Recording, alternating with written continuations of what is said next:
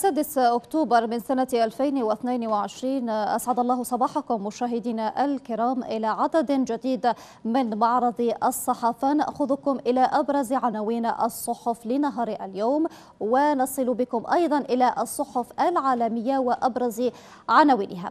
البداية مشاهدينا كما عودناكم دائما ستكون بجريدة الشروق اليومي والتي جاء فيها سبع قطاعات على طاولة اللجنة الحكومية الجزائرية. الجزائرية الفرنسية. فرانك شتاينمر للرئيس تبون ألمانيا تريد تكثيف الاستثمار في كل الميادين. السفيرة الأمريكية ترد على الضجيج. العلاقات الثنائية مع الجزائر قوية ومتنامية والشراكة الجزائرية الإيطالية نحو الأمام واتفاقيات في خمس مجالات طاقوية قريبا. في ذات الجريدة جريدة الشروق اليومي وفي الشأن الرياضي جاء ملف الجزائر الأوفر حظا وفق شروط الكاف. إذا ننتقل إلى مقال جريدة الشروق اليومي مشاهدينا سبع قطاعات على طاولة اللجنة الحكومية الجزائرية الفرنسية حيث تنعقد اللجنة الحكومية الخامسة رفيعة المستوى الجزائرية الفرنسية يومي. إذا العاشر والحادي عشر من شهر أكتوبر الجزائر الجزائر العاصمة تحديدا فندق الأوراسي بحضور أعلى مسؤولي الدولتين.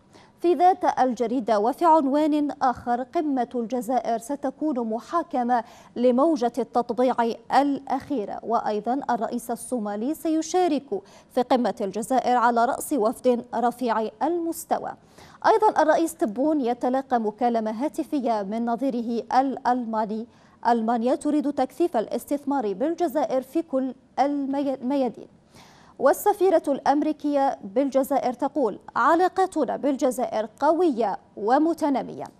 ذات الجريدة مشاهدينا الكرام وفي صفحة أخرى إذن وخبر آخر تحديدا الشأن التربوي.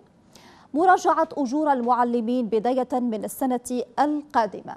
حيث أكد وزير التربية الوطنية عبد الحكيم بالعابد مراجعة أجور المعلمين بداية من السنة المقبلة مقابل تخصيص 36 ألف منصب مالي بعنوان السنة المالية 2022 للترقية إلى رتبتي أستاذ رئيس وأستاذ مكون للمراحل التعليمية الثلاثة وهو ما سينعكس إيجابا على الحياة المهنية وكذا المادية للأساتذة. في ذات الصفحة وفي الشأن الأمني تحديدا حجز 14 قنطارا من الكيف المعالج عبر الحدود مع المغرب. ننتقل وإياكم مشاهدينا إلى جريدة وطنية أخرى وسنقف عند جريدة الخبر والتي جاء فيها استرجاع محلات عدل المغلقة.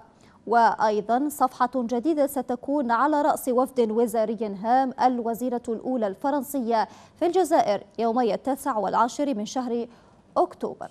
ننتقل وإياكم الآن إلى جريدة المساء والتي عنونت في صدر صفحتها الأولى. إشادة بأدوار الرئيس تبون وسمعته وسط المجتمع الدولي. الدبلوماسية الجزائرية التوغل متواصل. وجاءت أيضا في العناوين الرئيس الألماني شاكرين للجزائر ودورها في تثبيت السلم والاستقرار. وزير خارجية البرتغال نعول على الصداقة القوية التي تجمعنا بالجزائر والرئيس الصومالي على رأس وفد رفيع المستوى في القمة العربية بالجزائر.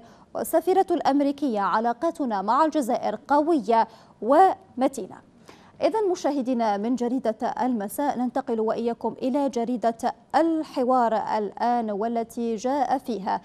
الفصائل أكدت أنها تبذل جهدا متواصلا لإنجاحها وترحيب فلسطيني واسع بمصالحة الجزائر.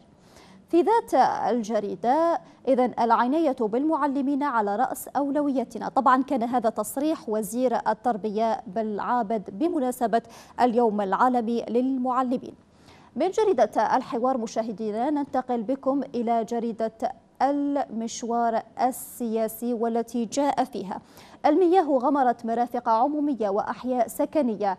الأمطار تحدث طوارئ في ستة ولايات وفاة شخص وإجلاء 35 آخرين بسبب ارتفاع منسوب المياه. وأيضا خلال مكالفة هاتفية بين الرئيسين هذا ما دار بين الرئيس تبون والرئيس الألماني ونحو عقد لجنة مشتركة للتعاون بين البلدين قريبا. إذا مشاهدينا نصل بكم الآن إلى الصحف العالمية ونقف عند جريدة القدس العربي والتي جاء في صفحتها الأولى. شهيد وعشرات الإصابات في نابلس والاحتلال يعزل القدس والبلدة القديمة في ثاني أيام عيد الغفران اليهودي. من جريدة القدس العربي إلى جريدة العربي الجديدة مشاهدينا والتي جاء في صفحتها الأولى كييف تنقل المعارك إلى لوغانسك. من أيضا وأيضا جاء في جريدة القدس العربي حصار الاحتلال لنابلس مستمر وترهيب في الأقصى. ننتقل وإياكم الآن إلى جريدة أخرى جريدة الشرق الأوسط وجاء فيها تحديدا في الشأن الطاقوي. وزير الطاقة السعودية أسعار النفط ارتفعت بكثير أكثر بكثير من الغاز والفحم. أوبك بلس تخفض الإنتاج وسط غضب أمريكي. إذا كيف تواصل تقدمها؟ وموسكو تتعهد استعادة خسائرها. ومصارف لبنان تتهم الدولة بتبديد أموال المودعين ننتقل وإياكم إلى جريدة أخرى مشاهدينا الكرام وجريدة إذا Evening Standard والتي جاء فيها UK Morocco trade deal did not get consent of Western Sahara people court loud. The Western Sahara campaign UK has brought legal action against the Department for International Trade and the Treasury. إذا هذا فيما يخص اتفاق التجارة بين المملكة المتحدة والمغرب حيث قامت آه، منظمة أو حملة الصحراء الغربية بالمملكة المتحدة. قد قدمت طعنا أمام المحكمة بريطانيا العليا فيما يخص على خلفية تمديد نطاقها ليشمل البضائع ذات المنشأ في الصحراء الغربية. هذا الشيء سيضع وزارة التجارة الدولية وخزانة المملكة المتحدة في خرق لالتزاماتها بموجب القانون الدولي. كان هذا ما تضمنه مقال Evening Standard لنهار اليوم. وبهذا الخبر مشاهدينا الكرام نصل وإياكم إلى ختام عدد اليوم من معرض الصحافة. نشكركم على كرم الإصغاء والمتابعة. إلى اللقاء.